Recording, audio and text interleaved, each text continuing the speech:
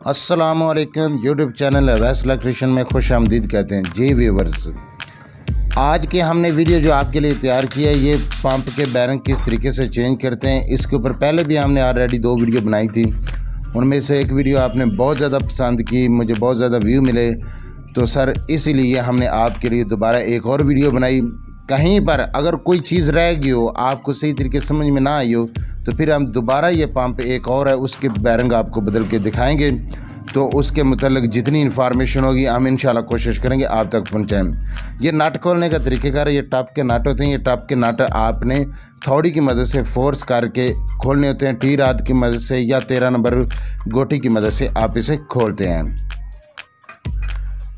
जी Weaver इसी तरीके से ये टप खुल जाता है। पेचकास की मदद से आहिस्ता आहिस्ता इसे थोड़ा सा आप फोर्स करेंगे। आगे स्नोकर वाली साइड पे थोड़ा सा थोड़ी मारें ताकि स्नोकर इस तरीके से टूटे ना। तो आपने ये आहिस्ता आहिस्ता खोल देना है।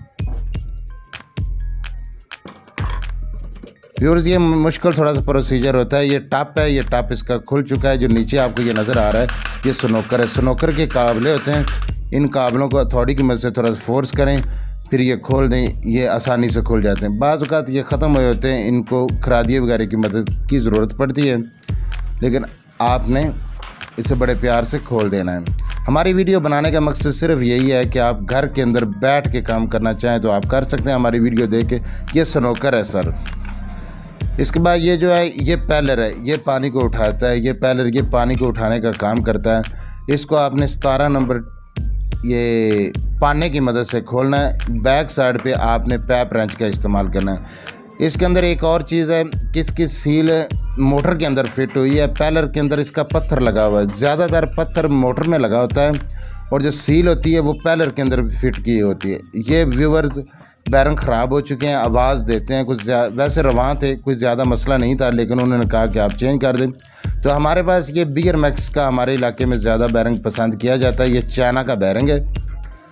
तो बियर मैक्स के बैरंग को आपने पहले इसका साइज़ देख लेना, इसके बाद इसके ऊपर हल्का सा तेल लगा देना। तेल लगाने से ये होगा कि ये तो शाफ्ट रवा हो जाएगी तो आपने अच्छी तरीके से तेल लगाना, तेल लगाने के बाद कोई गोट ऐसी इस्तेमाल करें कि बैरंग को आपकी चोट ना लगे अथॉडी की चोट ना लगे बैरंग को। इसी तरीके से गोट का आपने इस्तेमाल करना है।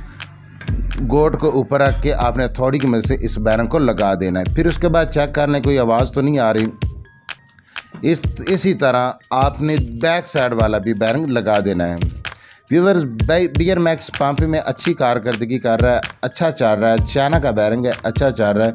बाकी वो एंटीजन वगैरह होते हैं, वो अलग बात है, वो महँगे भी होते हैं, लेकिन वो उनकी वो परफॉर्मेंस भी नहीं है।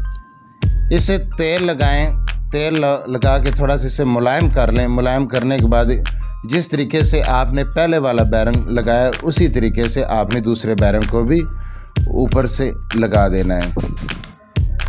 ये हमारे दोनों बैरंग मुकम्मल हो चुके हैं।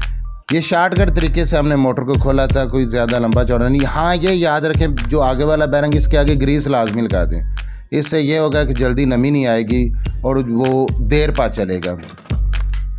तो अथॉडी की से इसे ठोक दें और ये बैक साइड वाली जो प्लेट है, इसके अंदर भी तो हल्का सा तेल लगा दें ग्रीस लगा दें, जो आपकी चीज़ आसानी से मिल जाए, वो लगा दें। तो उस, इसी तरह से ये प्लेट को आपने फिक्स कर देना है। बेहतर तो यही है कि आपने मोटर के साथ एक निशान लगाना जो आपको ये नज़र आ रहा है काले रंग का। तो थोड़ी सी फिटिंग में मसला होता है तो आपने इसी तरीके से प्लेट को एडजस्ट करना है। उसके बाद शाफ्ट के ऊपर से थोड़ा सा ठोकर लगाएँगे तो वो रवा हो जाएगी। ये रवा हो चुके हैं। ये सारा आप इसके अंदर पैलर के अंदर ये लगा हुआ आप पत्थर देख रहे हैं, जो सफ़ेद रंग का है। इसकी सील अंदर वाली साइड पे लगी हुई थी। इसे हल्का सा तेल लगा दें ताकि बाद में कोई किसी किस्म का मसला ना बने। तो इसी तरीके से आपने ये पैलर की कसाई कर देनी। जिस तरीके से आपने इसे खोला था, इसी तरीके से सर आपने इसे कस देना है। इसके बाद आपके पास पाना होना चाहिए, तकरीबन सतारह नंबर का पाना। ज़्यादातर सतारह नंबर इस्तेमाल होता है, अठारह नंबर, सतारह नंबर। तो आपने इसे रवा करके चेक कर देना क्या किसी किस्म की आवाज़ तो नहीं आ रही। उसके बाद ये हम स्नोकर लगा रहे हैं, जो आपको स्टार्ट में दिखाया था, जिस तरीके से उसे खोलते हैं। इसके नट भी न्यू कर दें, पुराने नट का इस्तेमाल ना व्यूवर्स आपने कभी ये जैन नहीं भूलना। अगर आप जैन भूल जाएँगे, ये जैन नहीं लगाएँगे तो आपका पंप पानी नहीं उठाएगा। आपने ये जैन लगाना, उसके बाद ये टप है, और टप को आपने सही तरीके से फिक्स कर देना। इस तरीके फिक्स इसके एक बात याद रखें कि इसके नट जो छः के छः इन्हें बराबर इनकी कसाई करते हैं। ये नहीं, एक फुल टाइट कर दिया, दूसरे करना शुरू कर दिया। इस तरीके से ये इसके कान टूटने का ख़तरा होता है तो इस तरीके से आपने करना है। आप, मैं उम्मीद करता हूँ कि आपको हमारी वीडियो पसंद आएगी शुक्रिया, अल्लाह हाफिज़।